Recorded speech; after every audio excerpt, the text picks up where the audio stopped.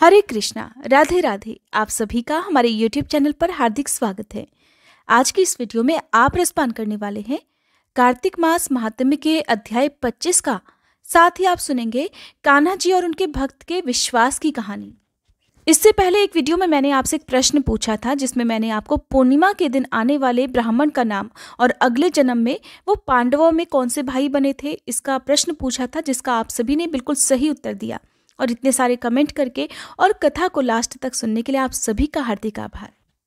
तो इससे पहले के अध्याय में आपने जाना था कि किसी भी मंदिर में ध्वजारोपण करने से किस पुण्य की प्राप्ति होती है। जाने अनजाने में किया गया ध्वजारोपण किस पुण्य की प्राप्ति करा सकता है और अगर श्रद्धा पूर्वक ध्वजारोपण किया जाए, यानी कि मंदिर में झंडी बांधी जाए तो उससे क्या पुण्य मिलता है? अगर आप इस बारे में जानना चाहते हो तो इससे पहले का अध्याय आप ज़रूर सुनिएगा। सारी कथाएँ सुनकर महाराज प्रथु ने देवर्षि नारद जी से निवेदन किया कि हे मुनिवर, अब आप कृपा करके कार्तिक मास के व्रत के उद्यापन की विधि सुनाने की भी कृपा करें। तब देवर्षि नारद बोले, नारायण नारायण, हे राजन, कार्तिक शुक्ल चतुर्दशी को कार्तिक मास के व्रत की संपूर्णता के लिए उद्यापन करना चाहिए। पूरे घर में गाय के गोबर का चौका लगाकर तुलसी के ऊपर मंडप बनाएँ। द्वारों पर मिट्टी के चार द्वारपाल स्थापित करें, जिनका नाम पुण्यशील, सुशील, जय और विजय रखें। फिर तुलसी के पास में ही सर्वतो भद्र चक्र बनाकर, उसके पास में ही पंच रत्न युक्त कलश स्थापित करें। सर्वतो भद्र चक्र बनाने से सभी तैंतीस कोटि देवी देवताओं की पूजा हो जाती है। श्री लक्ष्मी नारायण की सोने की अथवा मिट्टी की मूर्ति बीच में रखकर फिर नवग्रह, उपग्रह दसों दिक्पाल और पंच लोकपाल आदि स्थापित करें। फिर स्वस्ति वाचन करके गणेश जी और विष्णु आदि देवताओं का षोडशोपचार पूजन करना चाहिए। फिर भगवान को पीले रंग की सुंदर रेशमी पोशाक पहनावें और शैया का दान करें। फिर ब्राह्मणों को भोजन कराएँ और गौ माता की पूजा करके यदि संभव हो तो गौ दान करें। फिर एक ब्राह्मण को उनकी पत्नी के साथ घर पर आमंत्रित करके उन्हें शुद्ध सात्विक भोजन कराएँ और फिर उन दोनों को वस्त्र, आभूषण, पात्र और दक्षिणा आदि देकर, अपनी सामर्थ्य के अनुसार दान दक्षिणा देकर उन्हें संतुष्ट करें और फिर उन्हें प्रणाम करके उनका आशीर्वाद प्राप्त करें। यह सब कार्य श्रद्धा पूर्वक करने से व्रत का पूर्ण फल प्राप्त होता है और अंत में विष्णु लोक की प्राप्ति होती है। जो भी व्यक्ति कार्तिक के इस व्रत को कहता, सुनता अथवा देखता है, उसे भी इस व्रत के चौथाई फल की प्राप्ति होती है। इस प्रकार उद्यापन का पूर्ण विधि विधान बतलाने के पश्चात श्री सूत जी महाराज बोले कि, हे ऋषियों, अगर किसी में उद्यापन की सामर्थ्य ना हो तो कुछ ब्राह्मणों को भोजन करा दे। ब्राह्मण ना मिले तो गाय, पीपल या फिर वट वृक्ष का ही पूजन कर ले। क्योंकि पीपल का वृक्ष विष्णु भगवान का और वट वृक्ष शिव जी का स्वरूप माना जाता है। इसी प्रकार पलाश ब्रह्मा जी का रूप माना जाता है। यह सुनकर ऋषियों ने पूछा, हे सूत जी, ब्रह्मा, विष्णु और शिव जी वृक्ष भाव को किस प्रकार प्राप्त हुए, ये भी बताने की कृपा करें? तब श्री सूत जी कहने लगे, हे ऋषियों, किसी समय शिव पार्वती एकांत में विराजमान थे कि उस समय देवताओं द्वारा भेजे गए अग्नि देव द्वारा उनके एकांतवास में विघ्न उपस्थित हुआ। इस पर पार्वती जी ने क्रोधित होकर देवताओं को श्राप दे दिया कि तुम सभी वृक्ष रूप हो जाओ। तब विष्णु जी गया जी में जाकर पीपल और शिव जी काशी में अक्षय वट और ब्रह्मा जी पलाश रूप हो गए। बस तभी से पीपल और वट वृक्ष का पूजन होता है। तब ऋषियों ने पूछा कि शनिवार को पीपल का पूजन होता है मगर रविवार को नहीं? इसका क्या कारण है? अब कृपा करके हमें ये भी बतलाइए। ऋषियों के प्रश्न को सुनकर श्री सूत जी महाराज कहने लगे कि, हे ऋषियों, समुद्र मंथन के समय चौदह रत्नों में से कौस्तुभ मणि और लक्ष्मी जी को प्राप्त करने के बाद भगवान विष्णु लक्ष्मी जी से विवाह करने को तत्पर हुए। तब लक्ष्मी जी ने भगवान से कहा कि, प्रभु, मेरी बड़ी बहन दरिद्रा अभी अविवाहित हैं। पहले उनका ही विवाह होना चाहिए। यह सुनकर भगवान विष्णु ने लक्ष्मी जी की बड़ी बहन उद्दालक ऋषि को सौंप दी। यद्यपि, दरिद्रा का रंग काला नेत्र लाल और बाल बिखरे होने के कारण वह बहुत ही कुरूपा थी। फिर भी भगवान की आज्ञा मानकर उद्दालक ऋषि दरिद्रा को अपने आश्रम में ले आए। आश्रम में आकर दरिद्रा ने देखा कि वहाँ तो वेद पाठ और हवन आदि हो रहा है। ये देखकर उसने मुनि से कहा, मैं ऐसे स्थान में रहने की बजाय उस स्थान में रह सकती हूँ, जहाँ चोर, जुआरी और ब्राह्मणों का अपमान करने वाले लोग रहते हों। दरिद्रा की यह बात सुनकर उद्दालक ऋषि तो बहुत ही दुखी हुए और फिर उसे वहीं छोड़कर ये कहकर चले गए कि मैं तुम्हारे लिए कोई उपयुक्त स्थान देखकर आता हूँ जहाँ तुम आराम से रह सको। ऋषि के जाने के बाद कुछ देर तक तो दरिद्रा ने उनकी प्रतीक्षा की। जब काफ़ी देर हो गई, ऋषि वापस नहीं लौटे तो वह रोने और चिल्लाने लगी। तब लक्ष्मी जी ने भगवान से कहा कि, हे भगवान, ऋषि द्वारा त्याग दिए जाने के कारण मेरी बहन दरिद्रा अत्यंत दुखी हो रही है, इसलिए आप जाकर पहले उसे शांत कीजिए।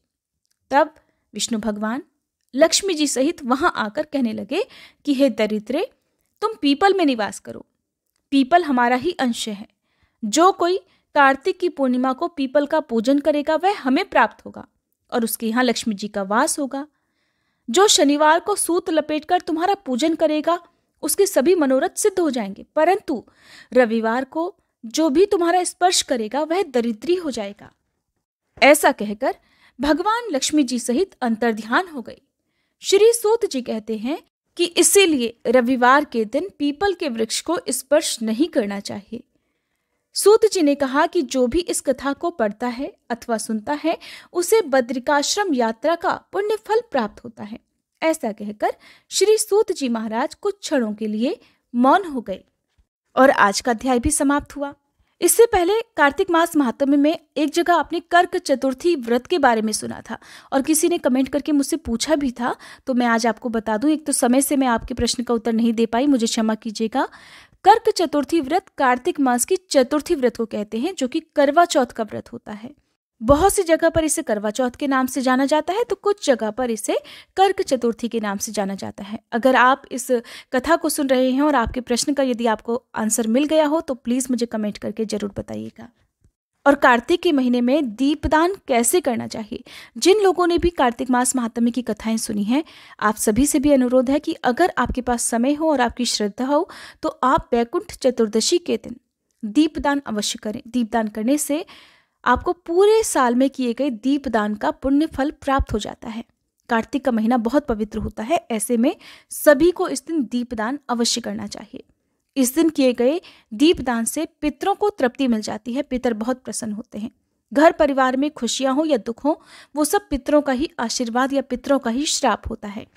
तो कार्तिक के महीने में यदि आसपास गंगा जी में जाकर या तालाब नदी किनारे आप दीपदान नहीं कर सकते हैं तो आप घर पर ही गंगा जी का दीपदान कैसे कर सकते हैं? इसके लिए आप हमारे चैनल पर अपलोडेड वीडियो ज़रूर देख लीजिएगा, जिसमें आपको मैं खुद से पूजा विधि के माध्यम से करके दिखाऊँगी कि दीपदान कितनी बत्तियों का और कैसे किया जाता है। अब सुने कान्हा जी और उनके भक्त के अटूट विश्वास की कहानी। एक बार एक संत थे और वो भगवान कृष्ण के परम भक्त थे। भगवान की मानसिक पूजा किया करते थे। उन्होंने भगवान कृष्ण के साथ पिता और पुत्र जैसा संबंध बनाया हुआ था। वो इस प्रकार ऐसा विचार करके कान्हा जी की पूजा करते थे कि कान्हा जी मेरे बालक हैं और मैं उनका पिता हूँ। जैसा कि मैंने आपको एक बार बताया था कि हम कान्हा जी की पूजा तो करते हैं, लेकिन मन में हमारे कुछ भाव ज़रूर होते हैं। कान्हा जी हैं ही ऐसे कि हर कोई उनके साथ अपना अलग ही संबंध रखना चाहता है। कोई उन्हें अपने बेटे के रूप में, कोई उन्हें अपने पिता के रूप में, कोई सखा के रूप में, कोई पति के रूप में तो कोई उन्हें भगवान के रूप में और छोटे छोटे बच्चे तो उन्हें अपने बेस्ट फ्रेंड के रूप में उनकी पूजा करते हैं। तो ऐसे ही संत जी ने कान्हा जी से अपना जो संबंध बनाया था, वो एक पिता और पुत्र के समान था। वो हर रोज कान्हा जी को उठाते, भोजन कराते, गोद में खिलाते और अपना पूरा वात्सल्य, पूरा स्नेह भगवान पर उड़ेल देते। कभी कहते, अरे कान्हा, मेरी दाढ़ी छोड़ो, क्यों नोच रहे हो? और मन ही मन इस प्रकार से विचार करते कि कान्हा उनकी दाढ़ी नोच रहा है और वो कान्हा को पकड़ने के लिए उसके पीछे पीछे भागते। हर समय उनके मन में सिर्फ़ कान्हा ही कान्हा बसे रहते। खाते, पीते, सोते, उठते, बैठते, वो हर समय कान्हा से ही बात किया करते। उनका तो जैसे एक एक क्षण उनकी एक एक सांस सिर्फ़ कान्हा जी को ही समर्पित थी। कान्हा जी की भक्ति में पूरे संसार को संत महाराज भूल गए। हर समय बस कृष्ण की भक्ति में ही रमे रहते। एक बार संत जी अपने शिष्यों से कहने लगे कि मैं कभी भी गंगा स्नान करने नहीं गया। तो शिष्य कहते गुरु जी आप काशी में चले जाओ। काशी नगरी में कहते हैं कि जो भी अपने अंतिम समय में जाकर वास करता है या जिनकी मृत्यु काशी में जाकर होती है, उनका उद्धार हो जाता है। उन्हें सीधे बैकुंठ लोक की प्राप्ति हो जाती है। जिनका अंतिम संस्कार काशी में किया जाए, जिनका पिंडदान काशी में किया जाए, उन्हें बार बार इस भवसागर के बंधन में नहीं बंधना पड़ता। उन्हें बार बार जीवन मरण के चक्कर में नहीं बंधना पड़ता। उनकी मुक्ति हो जाती है। तो जब शिष्यों ने कहा कि, गुरुजी, अब काशी में चले जाओ। तो संत जी महाराज, जो कि अपने कान्हा के प्रेम में, उनके वात्सल्य में इतना रमे हुए थे कि उन्हें लगता था कि, मानो कान्हा जी कह रहे हो कि, पिताजी, अभी तो मैं बहुत छोटा हूँ। बाबा मुझे छोड़कर इतनी दूर काशी में मत जाओ। अब भला इतने छोटे बालक को घर पर अकेला छोड़कर कोई पिता इतनी दूर काशी में स्नान करने के लिए कैसे जा सकते हैं? बस यही सब कुछ संत महाराज के साथ भी होता था। बार बार वो निश्चय करते, लेकिन उनके कान्हा जी उन्हें रोक लिया करते, जबकि कान्हा जी तो उनको दिखाई भी नहीं देते थे। कोई उनके कान्हा जी को देख नहीं सकता था, लेकिन उनके मन का भाव इस प्रकार था कि मानो रोज एक बालक के रूप में कान्हा जी बस उन्हीं के आसपास रहते हैं। उन्हीं से बातें करते हैं। अब धीरे धीरे समय बीता। समय बीता तो संत जी और वृद्ध हो गए, कमज़ोर हो गए। लेकिन उनका नटखट कन्हैया वही सिर्फ़ सात आठ साल का बालक ही रहा। संत जी की तो आयु बढ़ती गई, लेकिन कान्हा जी को उन्होंने बड़ा नहीं होने दिया।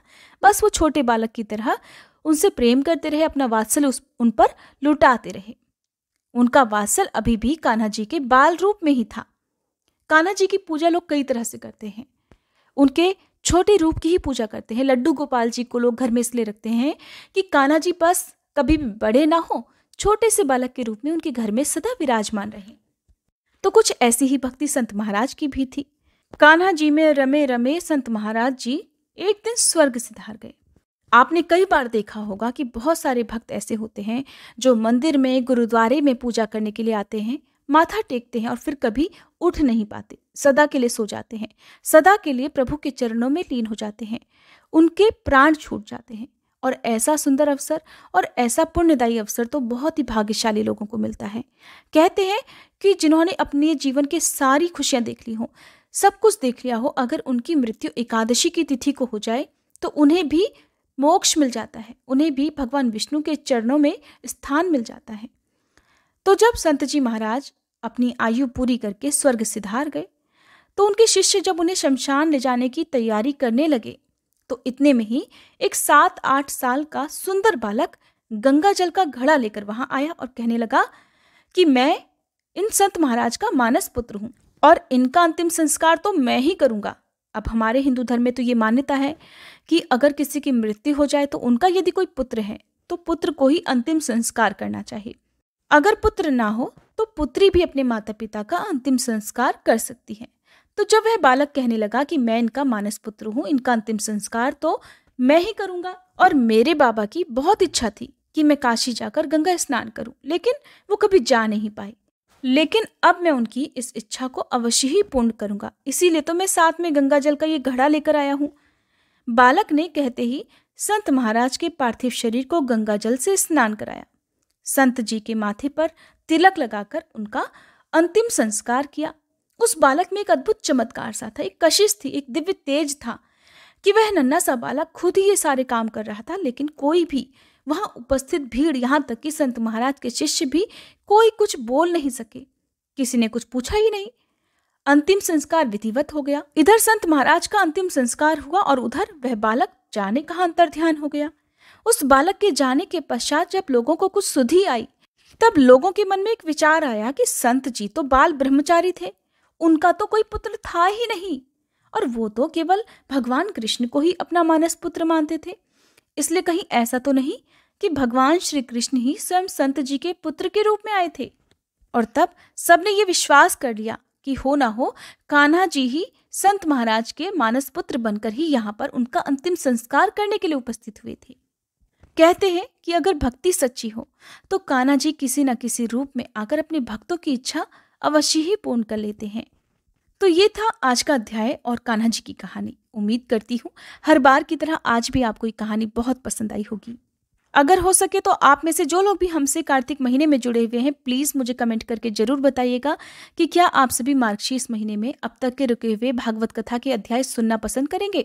उससे पहले आप हमारे चैनल पर अब तक अपलोडेड भागवत कथा के जितने भी अध्याय हैं, वो डेली सुनना प्रारंभ कर लीजिएगा, ताकि फिर मार्गशीर्ष के महीने में हम सभी एक साथ मिलकर इन कथाओं को पढ़ और सुन सकें।